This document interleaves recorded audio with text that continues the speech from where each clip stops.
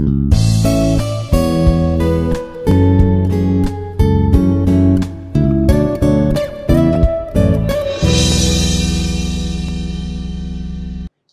and welcome.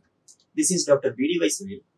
Associate Professor, Mechanical Engineering Department, Institute of Aeronautical Engineering, Hyderabad.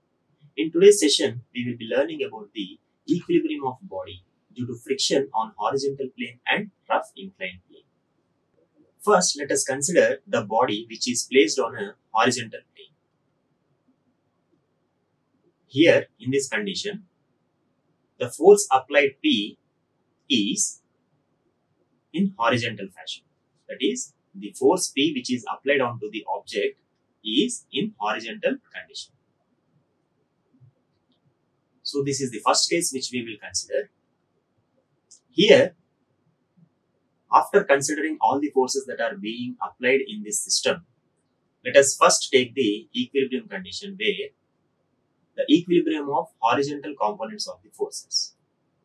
So all the horizontal forces which are visible here are the frictional force F and the force P that is being applied on the object.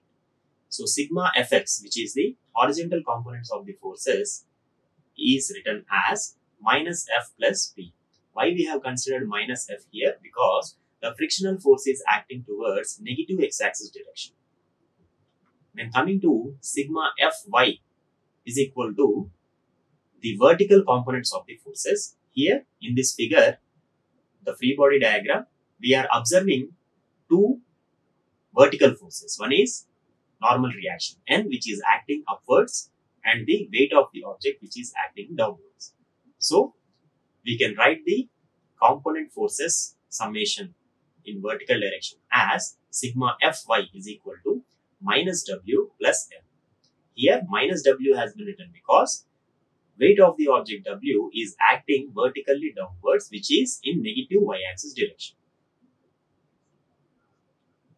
Now consider the force P that is acting at an inclination of theta to the horizontal.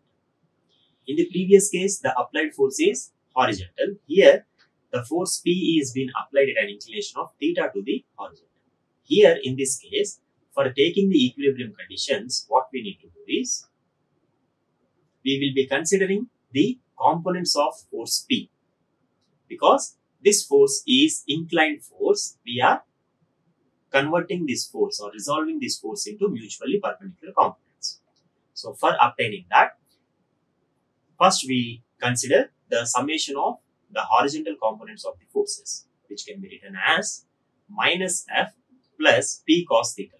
Here, there are only two horizontal forces.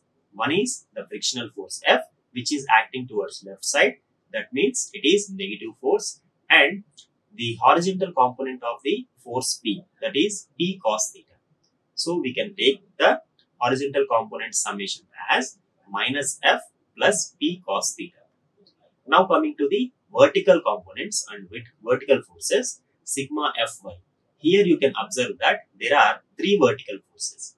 One is weight of the object, weight of the box. Second is the normal reaction. And third one is the vertical component of the force P that is being applied.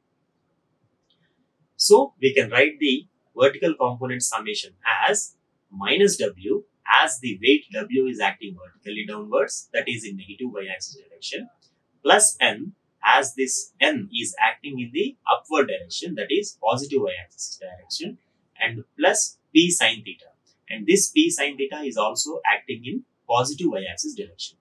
So in this way we can write the equilibrium conditions of the given system.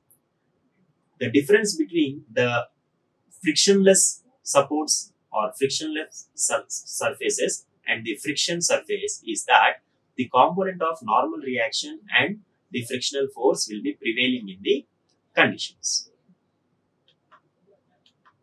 Now let us see the rough inclined plane. Force is along parallel the plane. That means force is along the plane. Let us consider a plane which you can observe here which is in blue color. It is inclined at an angle of alpha to the horizontal. The plane is inclined at alpha to the horizontal. As this is a rough inclined plane, as this is a rough plane, there will be friction prevailing. So what we can write? Here you can see the friction that is being acted. The force is applied along the plane.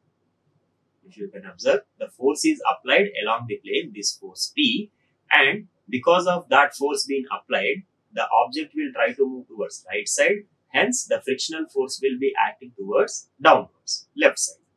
Okay. So, considering all these things, what we can say, the application of force, the application of force P is making the friction to act towards downward direction, right? And the normal reaction will always act in whichever direction the frictional force will act. It is not a consideration for normal reaction. It will be acting towards the object, towards the object at the frictional point, at the frictional point. Then coming to the weight, this weight W, the weight of the object is always acting vertically downwards, vertically downwards. Now, when you consider this weight consideration, okay, this is the vertical force for this inclined condition. For this inclined force or inclined condition, inclined plane condition, this vertical force which is W will be inclined force that you need to remember. This would be inclined force. If at all the object is placed on a horizontal plane, then we can consider this W as it is for the vertical forces. But here, this condition of the plane you can observe here as the inclined condition. So, whatever horizontal force or the vertical forces that are present will be inclined forces. Inclined forces for this condition of inclined plane. For this condition of inclined plane. So, what you need to do? You need to resolve this weight. You need to resolve this weight into components. You need to resolve this weight into. So, converting this weight or resolving the weight into components, you will be obtaining the component as perpendicular to the plane component like this and normal to the plane component like this. This is your weight force, right? So, in this way, you will be obtaining the components. Here, the inclination between these two will be alpha. So, in this way, the free body diagram is drawn for this thing. Now, forces along the plane. The, the, as the first condition of equilibrium, we will be considering the forces along the plane, which are sigma fx, that is equal to, along the plane forces are F, P, and the along the plane co component of W. So, F and along the plane component of W are acting in the negative direction. Okay, you can observe in the free body diagram, they are acting in the negative direction. And the force P is acting in the positive direction. So, we will be having the sign conventions as minus F plus P minus W sine alpha.